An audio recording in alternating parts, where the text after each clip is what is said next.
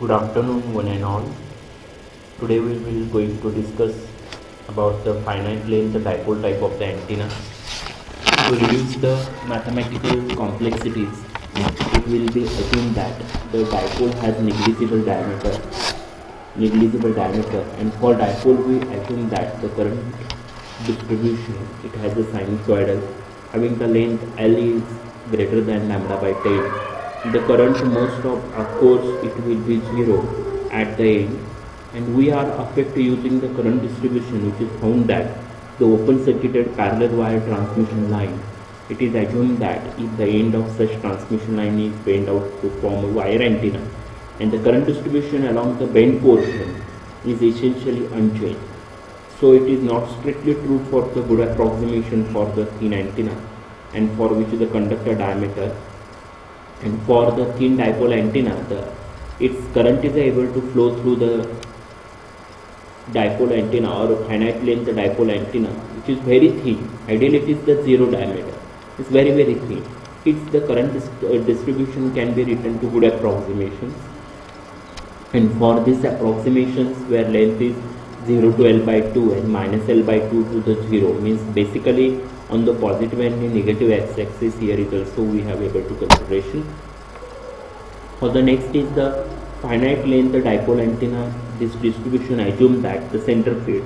Is for this figure we have seen that you have able to apply the signal across the antenna and the charged particles will be generated near to that of the antenna till at the end of the dipole the voltage is the maximum but you have able to apply the voltage drop across the antenna near to that of the antenna for the central axis the charge is able to develop. For this case the triangular current distribution is a form. Once the length of the antenna is going to be increases then what happens? The triangular current distribution is slightly converted into the sinusoidal current distribution. Till again we have able to increases the length of antenna not a diameter of an antenna. We have able to increase the length of the antenna again the current distribution there are the two sinusoidal wave is going to be generated.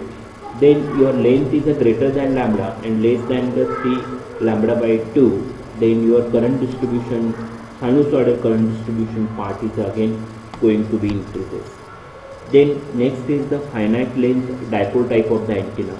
For this case the finite length dipole type of the antenna uh, here is the radiation pattern. Basically what is the importance of the radiation pattern? The importance of the radiation pattern is that to give the schematic representation of the strength of the signal. But here for this case the length of finite length of, of an antenna L which is equal to lambda by 15 towards the L which is equal to lambda. For this case L which is equal to lambda by 15 we want to getting the maximum beam width 3 dB beam, width. And uh, once we have to be able to increases the wavelength then up to the lambda then your, your uh, 3 dB beam width is going to be decreases. Means for the elevation plane amplitude pattern for the thin dipole antenna with sinusoidal current distribution. Then in case of the finite length dipole antenna uh, from this box we have seen it is found that the 3 dB for the each and which is equal to uh, it will be carrying if your length is a very very thin which is less than the lambda up to the length L which is equal to the lambda then for this case we want to getting the maximum beam width. Once we have to be able to increases the length of an antenna towards the lambda then uh, here the beam width is going to be decreases. As the length of the dipole is increases beyond one wavelength the number of the lobes is being to be increases then here is the three radiation pattern and here is the two radiation pattern is uh, given for three and two dimensional elevation pattern is will be given for the thin of the dipole having the L which is equal to 1.25 lambda in the sinusoidal current distribution. Then in case of the finite length dipole, we have to be interested to find out how to find out the input current and the input resistance.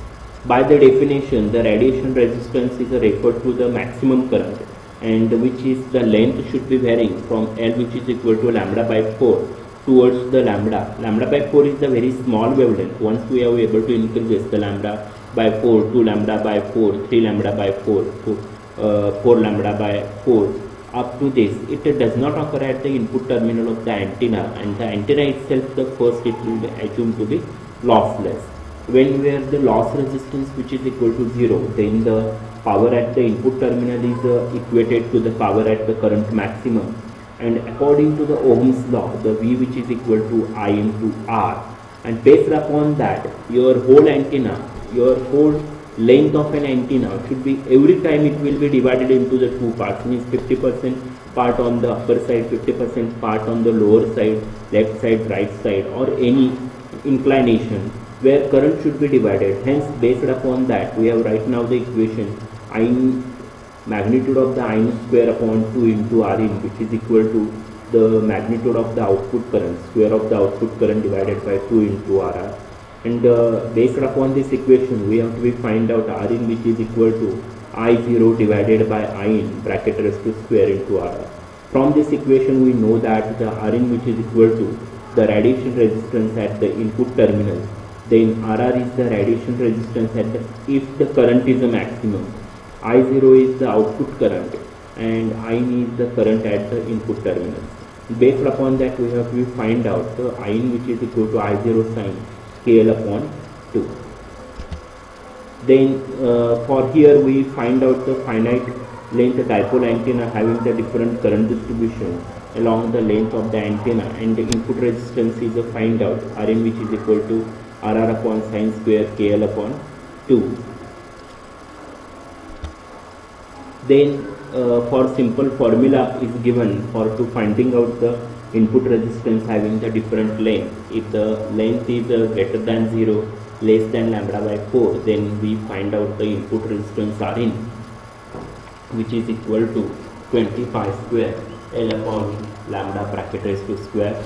If the length is greater than lambda by 4 but less than lambda by 2, then the input resistance Rin is given 24.7 pi L lambda raised to 2.4. In this way, we have to find out the input resistance for the different length and input resistance can be related to the radiation resistance and there are the several ways to find out the radiation resistance by using the different current reference point.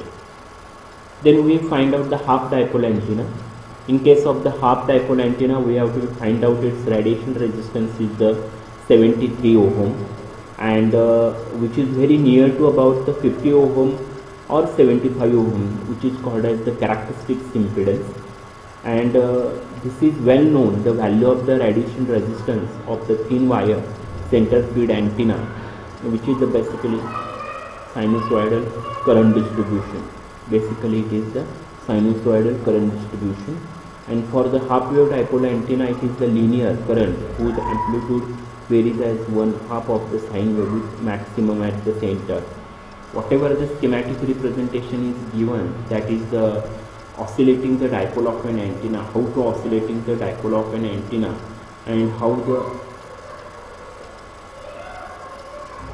how the signal is generated how the signal is generated from that dipole of dipole of an antenna uh, there are the charge particles and that charge particles is oscillating up and down motion and from that wave the wave is uh, detaching from the oscillating of an antenna and which is moving towards the receiving side of an antenna uh, which is generally in smoky in nature. Then this is the basic construction of the half wave dipole antenna the advantages of the half wave dipole is that you can make at a resonance and present at a zero input uh, reactance and by eliminating the need of turning to achieve to complex conjugate uh, for the impedance matching. Then here is the radiation pattern, current distribution and construction of the half wave dipole antenna. The sinusoidal current distribution is generally it will be given. Uh, figure of 8 radiation pattern is obtained having the half power beamwidth is approximately equal to the 78 degree. And the maximum directivity D0 is 4 pi U max upon the P radiated signal. Generally D0 which is equal to 1.643 and radiation resistance for the free space medium which is uh, eta which is equal to 125 means 376.7 means uh, approximately equal to 377 ohm and the radiation resistance which is equal to 73 and here is to be given the input impedance generally 73.42.5 but uh, this imaginary parameter we have to be reduced uh, when the input impedance is zero the antenna is matched to its length of the reactive vanishes from this point onwards we have seen the finite length dipole of an antenna. I hope that you understand the concept behind it. Please you like this video share this video. If any doubts you write the comment on this. And please subscribe my channel. Thank you. Thank you very much